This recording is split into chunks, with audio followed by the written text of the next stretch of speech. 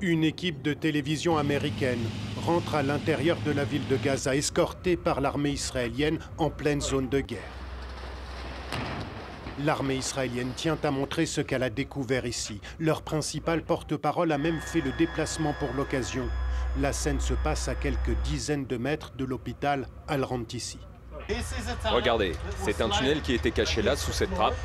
Un tunnel de 20 mètres de profondeur.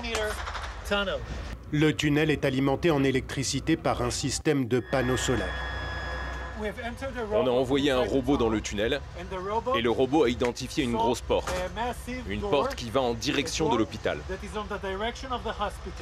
L'armée israélienne cherche à montrer que le tunnel est relié à l'hôpital. Elle n'y est pas parvenue pour l'instant.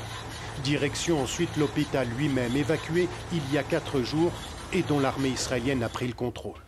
Le porte-parole se dirige dans un sous-sol de l'établissement. C'est leur arsenal. Donc ce sont les armes du Hamas Oui.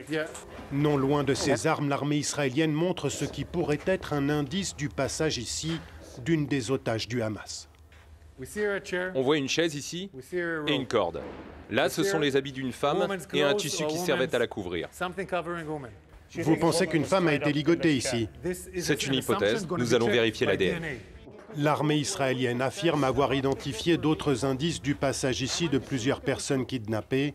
Si des otages sont effectivement passés par ces sous-sols, rien ne dit aujourd'hui ce qu'ils sont devenus.